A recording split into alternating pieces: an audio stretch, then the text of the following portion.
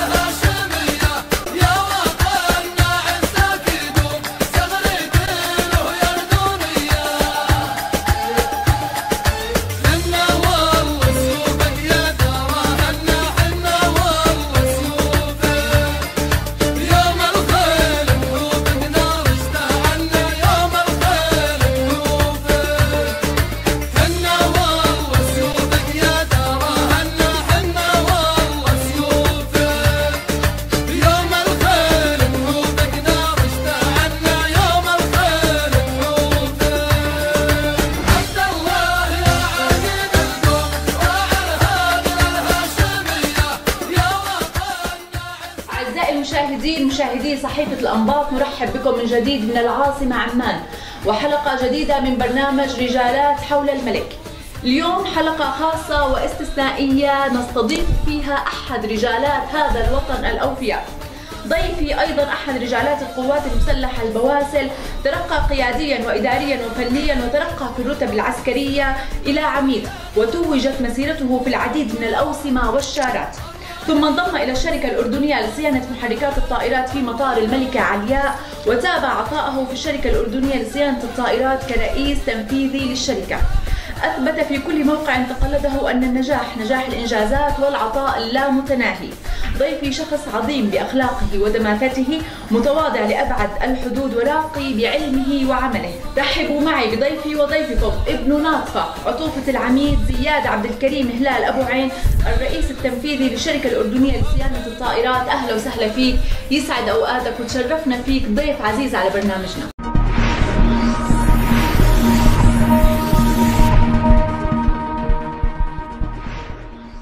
أهلا وسهلا فيكم ستي في بيتكم الثاني في هذه المؤسسة الوطنية الأنباط.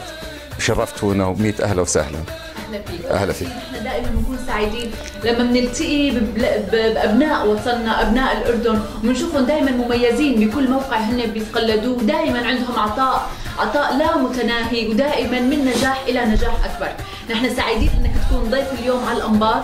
وفخورين فيك وكل ما أنجزت على أرض الواقع. بارك في عمرك ستي وإحنا أولاد هذا البلد ودائما جاهزين على مدار ال- الأيام ما دام في الواحد في حياة جاهز إن شاء الله يعطي لأقصى طاقته وهذا العشم بأبناء الوطن الأوفياء. بدنا نرجع لناطفة لإربد لأيام الطفولة لأيام ما كنت تروح وتجي على المدرسة علاقتك بإخواتك كيف كانت الحياة آه، كيف درست المراحل الأولى من تحصيلك العلمي مين كان مثلك الأعلى. تفضل. ستي أنا من مواليد ناطف ال 58 العمر كله. الله يبارك في عمرك. ووالدي رحمة الله عليه كان آه، أحد منتسبي القوات المسلحة فقرر الرحيل إلى محافظة إربد لإيجاد فرص إن فرص تعليم أحسن معيشية أفضل. ففعلا سكننا في الحي الجنوبي في محافظة إربد. كانت في البداية فعلا الحياة صعبة. حتى الخدمات الأساسية كهرباء ماء ما كان في متوفر شيء ولكن الوالدة الله طول في عمرها بنت ناطفة أيضا العزيزة آه، قدرت تتحمل هذه التحديات والصعوبات والحمد لله استطاعت أن تربي 12 واحد. ما شاء الله. عشرة من الذكور واثنين من الإناث. وبفتخر عندي ست إخوان بيحملوا رسالة الدكتوراه أربعة أطباء واثنين مهندسين وأنا واحد أقل واحد فيهم تأهيلا. ما شاء الله. فست خلال هذه الفترة الوالد الله يرحمه يعني في هذاك الوقت الراتب كان بسيط جدا إمكانياته محدودة. فكنا نحاول نعيش بالحد الأدنى ومن خلال استثمار الأرض الحول في ال- الوقت الصيف نزرع البندورة والخيار ومن ما ما ممكن تنبت الأرض. في في آه، وممكن بعض ال- القمح الشعير واوا نطلع خبيزة علت وأنت بنت إربد يعني. فهذه ان الحج تحاول تنشف. ال... فبالتالي يعني الحمد لله قدرنا نصل لمرحلة إنه بدأت أنا أك... أنا الأكبر في إخواني. الحمد لله أخلصت الثانوية العامة من ثانوية إربد للبنين ومن فضل الله كنت من أوائل المحافظة. ووالدي انتقل من السلاح المدفعية بال... بعد السبعين إلى سلاح الجو الملكي. فهناك السلاح الجو في ذاك الوقت كان بيبعث بعثات لبريطانيا وفرنسا لباكستان والحمد لله كان تم اختياري بناء على معدلي وأيضا والدي الذي يعمل في سلاح الجو الملكي وعمل أيضا في القوات المسلحة. تم اختياري ضمن 24 واحد رحنا إلى المملكة المتحدة لبريطانيا والحمد لله خلال خمس سنوات استطعت أن أتخرج بمرتبة امتياز مرتبة شرف من أعرق الجامعات. وعدت في ال 2000 1983 كملازم لسلاح الجو الملكي. نعم. أمضيت خدمة في القوات المسلحة يمكن بدأتها كما يبدأها العديد ولكن ما شاء الله أثبتت نجاحات أثبتت إنجازات على أرض الواقع وترقيت في رتبك وتوجت مسيرتك بأوسمة وشارات. ستي قبل ما أحكي عن الأ- الأوسم والشارات بحكيها بكل أمانة. والله لا أجامل. القوات المسلحة هي أحسن معهد أحسن مدرسة أحسن جامعة بتأهل الأردني للي حاب يتعلم. قد لا تجبر القوات المسلحة كل واحد يتعلم ولكن اللي حابب يتعلم وعنده دافعية وقابلية أحسن المدارس على الإطلاق. من فضلها زي ما حكيت سابقا درست في أحسن الجامعات. خلال خدمتي 29 سنة اللي خدمتهم في سلاح الجو الملكي تقريبا بديش أبالغ ما في دولة في أوروبا وفي أمريكا إلا رحت.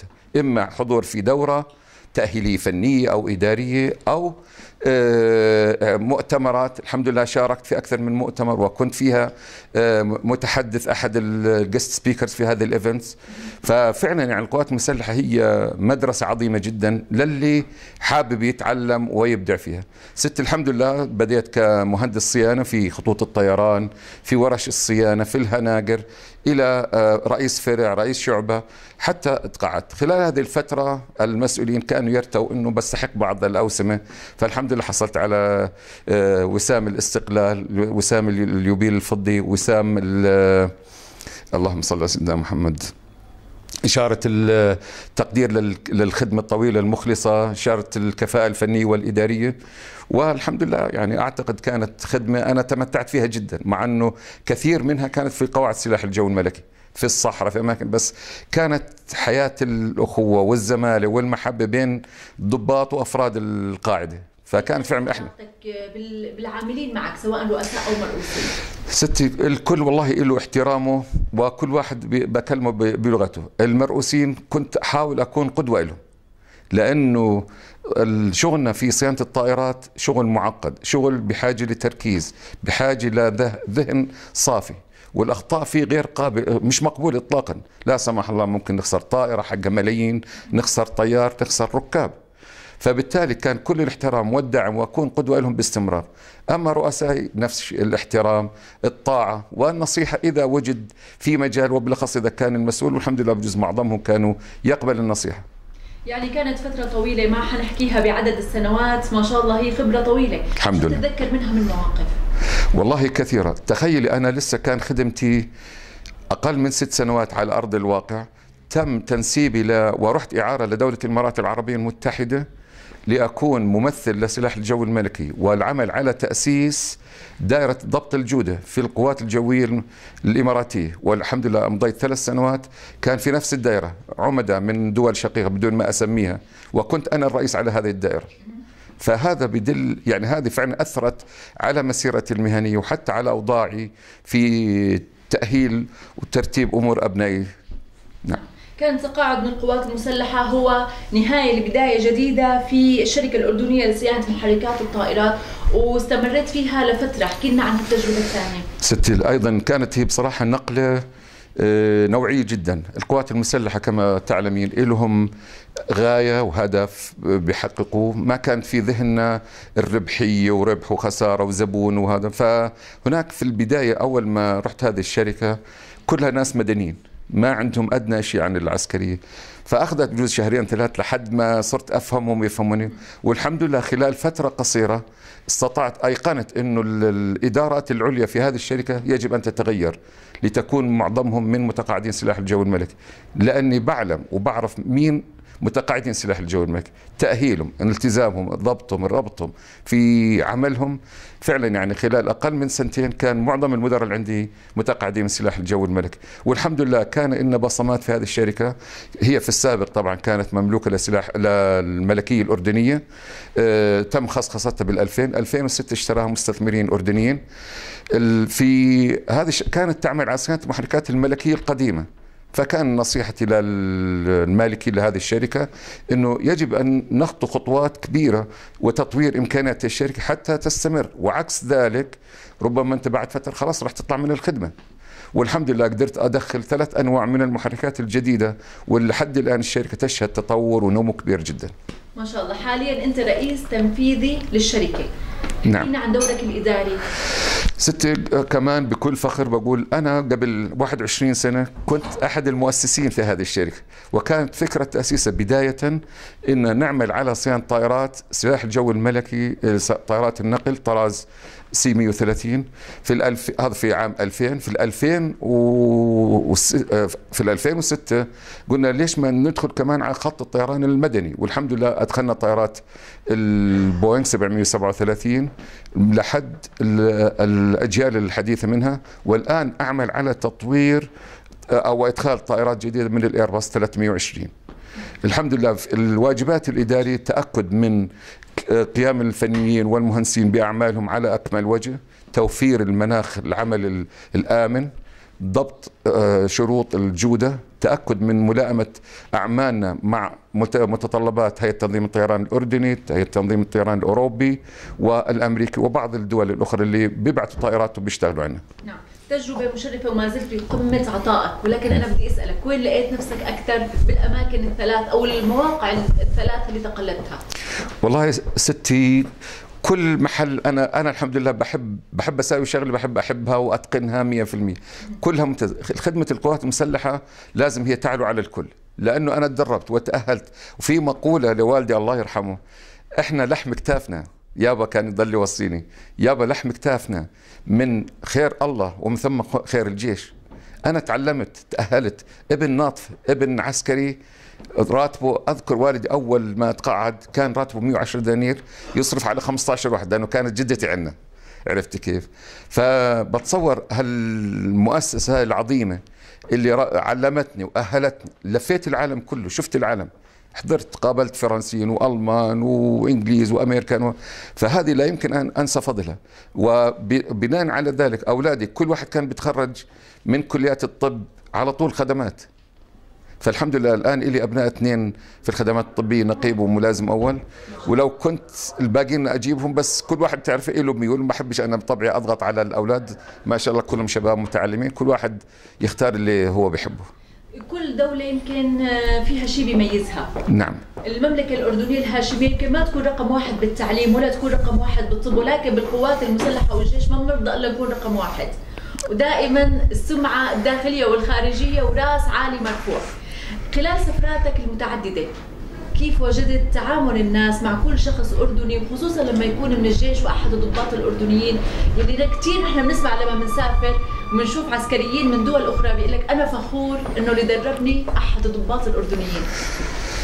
ست الأردن والله إلها بصمات ويجب الدول الشقيقة والصديقة ما تنسى فضل الأردن. يعني في الإمارات في عندهم كلية الشيخ زايد. لو تطلع عليها حتى اللباس المناهج التدريب لا copy paste عن الكلية العسكرية الأردنية في البحرين في ال... وين ما تطلعي. ففعلا القوات المسلحة أنتجت من ضباط وضباط سطو ومدربين و... فعلا يعني تركوا بصمات رهيبة. لما بتتكلمي عن ال... مع الأمريكان من خلال سواء لما كانوا يجونا في تمرين مشترك أو لما نروح عندهم في زيارات يحترمنا. بقول لك الضابط الأردني ضابط من آه، ملتزم آه، جاد ما في عنده لف ودوران تأهيله عالي. فالحمد لله أعتقد يعني وتميز. ومعروف الجيش الأردني وقواتنا المسلحة من قد يكون ثاني جيش في المنطقة قاطبة بالرغم من محدودية الموارد من شغلات كثير ومع ذلك استطعنا وفي مقولة جلالة الملك المغفور له الملك حسين آه الله يرحمه آه الإنسان أغلى ما نملك. وفعلا كان نعمل استثمار. استثمرنا في المواطن الأردني والحمد لله. طبعا في كافة القطاعات وبالأخص القوات المسلحة. وكانت وما زالت وستبقى القوات المسلحة والأجهزة الأمنية هي محط أنظار جلالة سيدنا والهاشمين لأنه بيعرفوا هذا هو صمام الأمان. نعم. وفعلا آه، حكيت إنه فعلا الهاشمين هم صمام الأمان وأنت سافرت كثير وزرت بلدان كثير، كيف تقيم نعمة الأمن والأمان داخل الدولة الأردنية؟ وكيف كان شعورك لما بترجع من أي دولة على مطار الملكه علياء؟ والله انت ضربتي على الوتر الحساس. أنا مجرد ما تبلش الطائر في عملية الهبوط هاي خلال العودة قلبي بد دقات بتبدأ تضرب بطريقة عجيبة. وأعشق لحظات لما الطيار يبدأ يعلن إنه أخذ الطائرة بالهبوط تدريجي باتجاه مطار الملك علي. ست القوات المسلحة بلدنا مش بلد عادي حقيقة. بجوز ما حد بحس فيه إلا استنشق عبقه وبخوره وشرب من قهوته بيعرف إيش معنى الأردن. والله العظيم أنا عشق لا, لا يوصف صراحة. كيف تقيم نعمة الأمن والأمان داخل الدولة الأردنية؟ ستي الحمد لله رب من أكبر النعم ممكن أكون ملياردير. عندي كل أنواع الأكل وعندي اللباس والسيارات و و ولكن أخشى على نفسي أو على ابني أو على أخوي أو مرتي يطلع خارج الباب والله لن أكون سعيد. ستي هذه نعمة لا تقدر. في ديننا في مبادئنا في الحياة في أي وإحنا معروفين يعني. لما تحكي لأي أجنبي آه الأردن. على طول لما زمان الله يرحمه جلاله الملك آه، حسين آه King حسين. الآن King عبد الله الملك عبد الله الله يطول في عمره. ستي معروفين عندنا الأمن والأمان هذه. واصلا هي بيئة ليست طاردة وإنما جاذبة للاستثمار للزيارات. يعني كثير بعرف من الأجانب والله واحد فرنسي صار له فوق ال 40 سنة أجى على الملحقية كملحق ثقافي في السفارة الفرنسية في عمان وبقي عايشا وزوج بناته الاردنيين و السنداء والمنسف الأردني مستحيل يطلعوا برا الأردن. شكرا. لك مع بصل كمان. أنت تمتلك خبرة كبيرة سواء إدارية أو فنية أو ما شاء الله عليك تجارب على أرض الواقع. وأنتم العسكريين ثقة سيدنا لو ناداك الوطن من جديد إلى موقع قيادي مسؤول جاهز لبي ستي وهالإنسان واحد رباه وعلمه ممكن وبلده ووطنه ممكن يقول لا مستحيل. جاهزون ستي على مدار الساعة وفي أي وقت ما دام في الواحد نفس وأنفاس وقلب دق لا يمكن نقول لا. إن شاء الله جاهزون لو قدر لك والتقيت بجلالة الملك عبد الله الثاني في لقاء شخصي ما بينك وبينه شو بتحب تحكي له؟ ستي في البداية بدي أدعي له بطولة العمر والصحة وربنا يحفظه من كل شر وسوء ويبقي قائد وملك لهذا الوطن اللي أجداده وآباؤه هو قائد قادنا لبر الأمان. ما ما جر شعبه. ما جر بلده لمهالك وحروب وكما حصل في باقي الدول. الحمد لله زي ما تفضلت قبل شوي هي فعلا واحد أمن وأمان. والحمد لله عايشين بالرغم من قلة الموارد ومحدوديتها التحديات المؤامرات اللي بتصير على الأردن. ومع ذلك قبلنا بأشياء تحديات أكبر من حجم ملايين من اللاجئين من الدول الجوار من الأحرار العرب اللي هجروا وطردوا من بلادهم كانت مأوى لهم الحمد لله تعليمنا عالي جدا. فهذه كلها مفاخر بقول لسيدنا يعني بجوز آه، طموحاته عالية وسرعة أداء هالمسؤولين الكبار وأصحاب القرار. وأنا كشخص وسيدنا حاشا أنه أقارن حالي فيه مش راضي. ستي قطاع الطيران. قطاع الطيران قطاع عظيم جدا. المصاريف لصيانة الطائرات حول العالم الطائرات العسكرية فقط حوالي 110 مليار دولار منها 7% في منطقة الشرق الأوسط. ستة سبعة بتحكي عن 770 مليون. لو قدرنا نأخذ 10% هي 77 مليون في القطاع العسكري.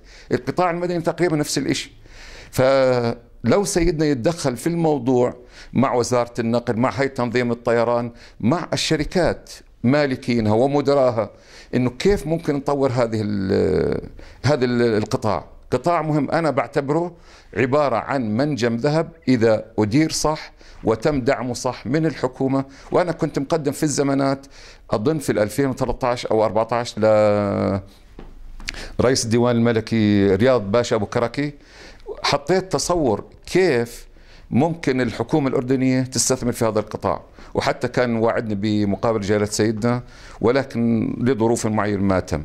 قطاع الطيران أعتقد بيستحق وسيدنا طيار.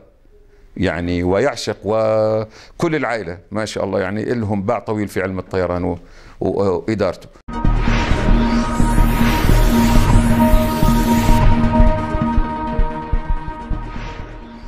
أتمنى سيدنا أن يوجه ويوعز لأصحاب الاختصاص بإعطاء قطاع الطيران من تدريب من صيانة.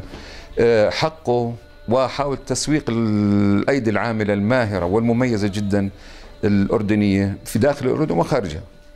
نحن أكيد بنتمنى أنه صوتك يوصل. سيدنا أكيد مو مقصر ولكن نحن نتمنى أنه آه، توجيهاته تترجم بشكل أسرع على أرض الواقع. مرينا بالآونة الأخيرة بالمئوية الأردنية وما زلنا بنحتفل فيها وبعيد الاستقلال. شو بتحب توجه كلمة لجلال سيدنا تهنيه فيهم وللشعب الأردني؟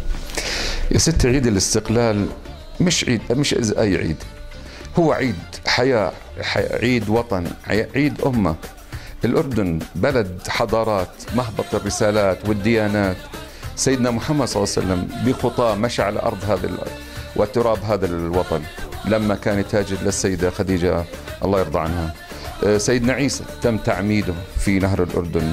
سيدنا موسى لما وقف على جبل نب في مأدبة وتفجر وانفجرت تحته ال 12 عين وبدأ بالدعوة إلى الله.